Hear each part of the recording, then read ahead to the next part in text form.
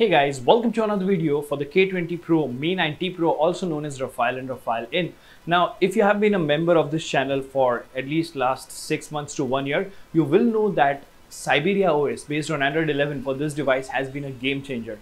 The developer Barney has been doing a brilliant job with Syberia OS and now he's back with the version Android 12 known as Syberia 5.0. So before we actually do a first look video on it, I'm going to install it and I thought might as well share this method with you. So in this video, we are going to install Syberia OS based on Android 12 version 5.0 for the K20 Pro. But before we get into the installation instructions, if you haven't already, please subscribe and hit that notification bell icon because it really doesn't cost you anything and motivates us to make amazing content like this.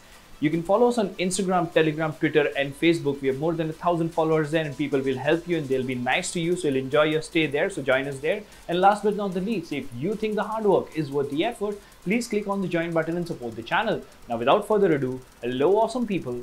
Welcome to Phone Ops. My name is Kailash. Let's get going.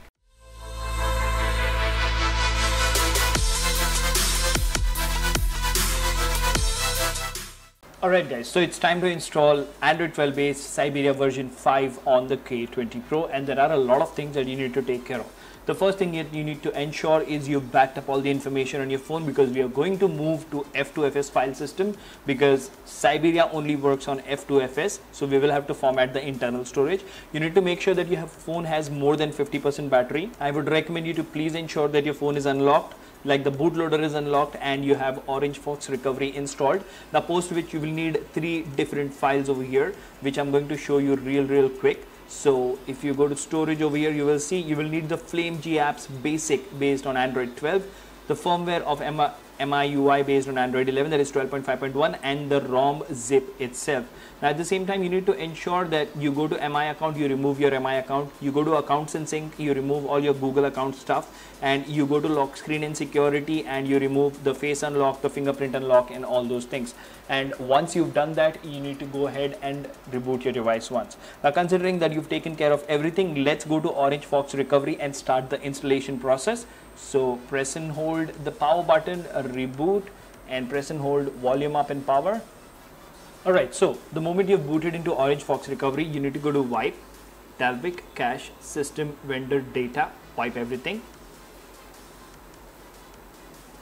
Alright, now go to this menu over here, select manage partitions, select the data partition and select the tick mark, select change file system and change it to F2FS and swipe to confirm flash okay now go to the main menu select reboot and select recovery now what we've done here is basically we've prepared the phone to flash Syberia Android 12 and we will be needing four files instead of three. I've just checked once again we will be needing the force de decrypt file that is DFE as well. Right. So the moment you've rebooted into TWRP as you can see over here we will need four files. We will need the DFE for Android 12, we will need Flame G apps, we will need the ROM and we will need the firmware, right? So the first thing that we will flash is the firmware, add to queue, then we will select the ROM, add to queue, then we will select GApps, add to queue, and we will select the DFE.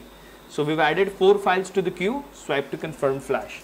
So in a sequence they will flash. First the firmware will flash, then the ROM, then GApps, and then DFE.